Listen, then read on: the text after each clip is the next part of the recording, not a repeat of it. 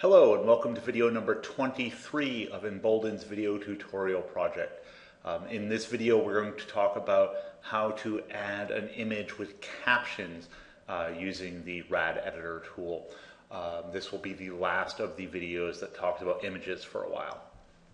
So to add an image with a caption, unfortunately there is not a simple setting. Uh, as you saw when we were adding images using the image manager, um, there's not a caption setting anywhere in there. There's, there's the alt text, uh, but that's not going to display a caption below the image the way you probably want.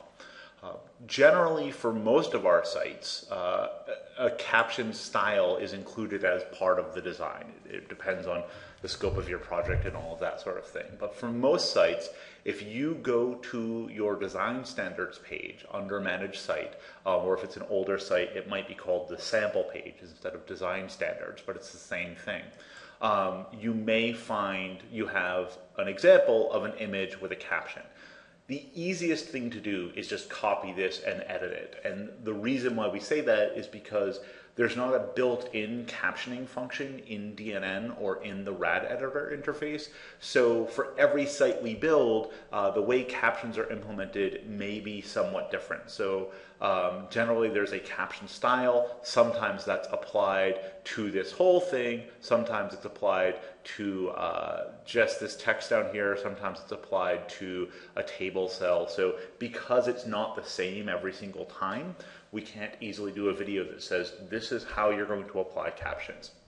So generally it's easiest for most folks to just go to their design standards page, hit edit content. You always want to copy from inside the editor. You don't just want to come here and, and swipe like that because you may end up with a bunch of extra stuff that you don't intend to copy over. So instead we're just going to go to edit content, edit this content. Um, it'll pull up the editor and we want to find the, uh, the sample caption.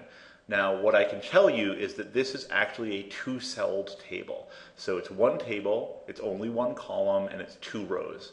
So the top cell has the image, and the bottom cell has the caption. And if you know much about HTML and tables, you know there's a lot of different elements within them. So I can see down here that I'm inside a table, and inside that table there's a body, and inside that body there's a row, and inside that row there's a cell. That's what T, TD is, table data cell. And I happen to know, because I looked at the HTML, that in this case, the caption class is applied to that bottom cell, not to the text within the cell. You don't want to highlight this and hit caption you actually uh, would want to select the cell by clicking on it in the HTML and then we can see the caption classes applied there. On top of that, if you look at the table as a whole, this table has a table left class applied. So again, this gets sort of complicated. So rather than try to figure out all of these different elements and what classes need to go where, um, I'm just going to suggest that you come in here to your, to your sample page, um, click in, click anywhere into the caption area on the image or the caption, and click where it says table down here to select the whole table and just copy it, which I tend to use keyboard shortcuts, so Control C works fine.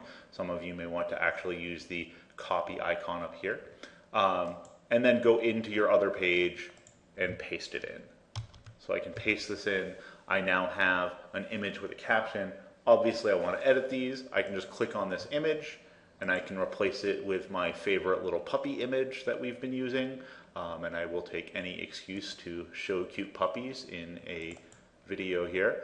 Um, and, you know, I would want to go in and this is a cute puppy or whatever you might want to put for a caption. So that's the easiest way to do it. Literally just copying from another thing and then pasting it in and editing like that. Um, if you are more adventurous and you don't want to go through having to go to another page and copy every time, you certainly can look up in the HTML and kind of figure out what the structure is um, and do it that way. But that's a much more advanced thing um, than most of our users would be used to. So that's it. That's it for images. We've talked about adding an image to the page, cropping and sizing images, uploading images, and now adding an image with a caption. Thank you.